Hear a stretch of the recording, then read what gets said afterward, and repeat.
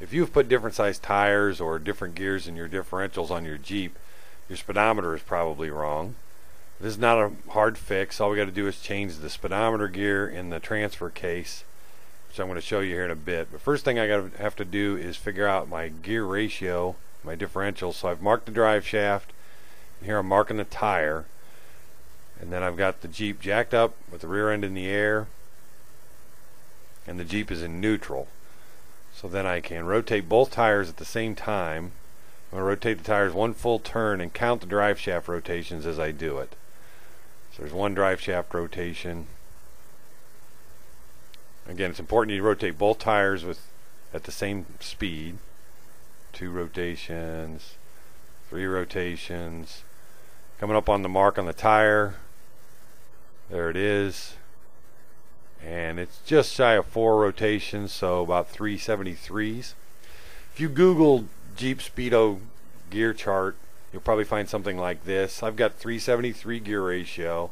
Go over to 35 inch tires. I need a 29 tooth speedometer gear. So I'll buy one of those and we'll put that in. It's pretty easy. This is the back of the transfer case. You want to clean it up before you uh, take anything off because you will be exposing the inside of the transfer case. We've got to take the electrical connector off. There's a red lock, a slide lock on that connector so it can't get knocked off. Just use a screwdriver or something hard to push it over to one side and then squeeze the connector and pull it off. Put it over out of the way. Then one bolt holds a clamp that holds the whole speedometer, gear, sensor combo in. Take that bolt all the way out. The clamp will come off. And we just pull the sensor and gear out all to one piece. It's a little snug, it's got an O-ring on it.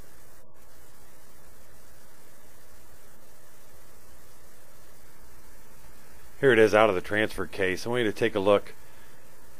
And there's the gear. And then there are four sets of numbers all the way around this because depending on which number of teeth the gear that you put back in, you're going to orient it with the right range pointing down or about 6 o'clock when it goes back in the transfer case. So like there's a 32 to 38. So if you're putting a 36 in, those numbers would face down or 6 o'clock when it goes back in the transfer case. The old gear just snaps out.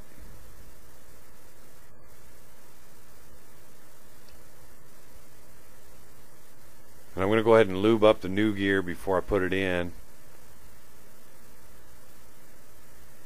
little assembly lube. Or you can use automatic transmission fluid, whatever you got handy.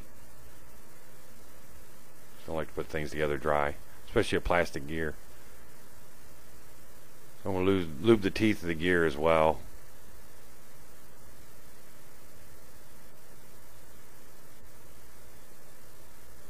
And while I'm at it, I'm going to replace the O-ring they're cheap. Don't want it to leak. Just going to pick the old O-ring out with a screwdriver.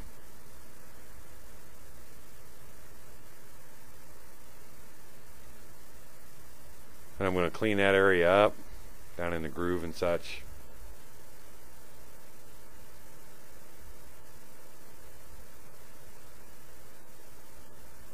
Then I'll put some assembly lube on that as well.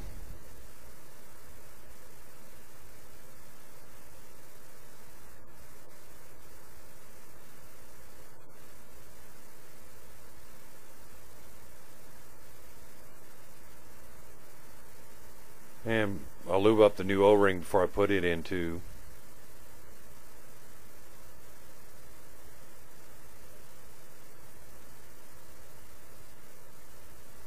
It's just best to have all this stuff wet before you put it in. That reduces the chances of tearing the new the new O-ring.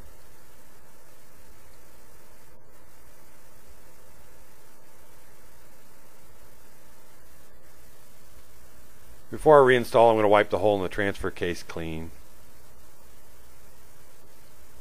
Then I'm just going to press the speedometer sensor assembly with the new gear on it back in. I hold my thumb on the number range that I want to be installed down, or in the 6 o'clock position. And once it's in there, you can rotate it a little bit to line up with the clamp. The clamp fits into some grooves on the case. It's one, there's four different positions you can press this in. It might be different than the way it was in there when you had it, depending on which range of speedometer gear you have going in.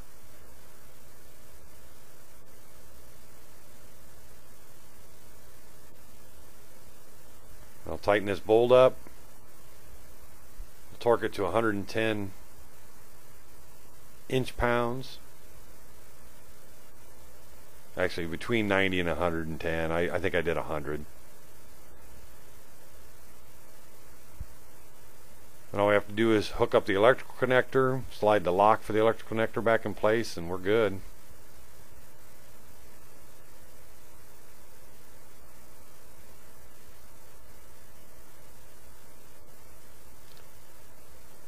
Again, we here I've rotated to a different position, so I have to twist the wire a little bit to go on.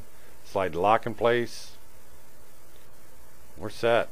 That's an easy job. You guys can handle this. Jeep on.